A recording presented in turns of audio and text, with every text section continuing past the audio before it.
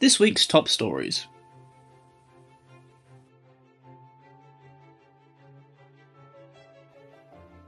Advanced supports Be Ready campaign for building safety.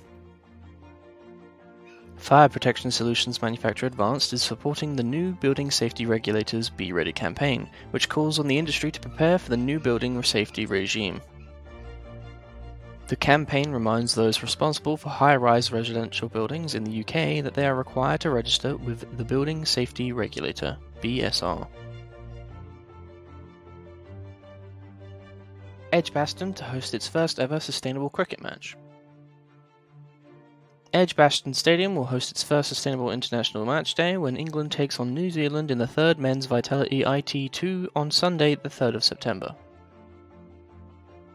The fixture will be the first sustainable game of its kind in UK cricket and will see a focus on cutting emissions across all scopes of the ground's footprint.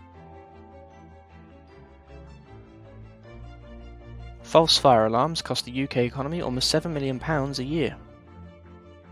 False fire alarms are costing SMEs in the UK almost £7 million every single year. 300 SMEs estimated that interruptions caused by evacuation after a false alarm costs their organisation around £1,000 or more. For all the latest facilities and workplace management news, Read more at twinfm.com.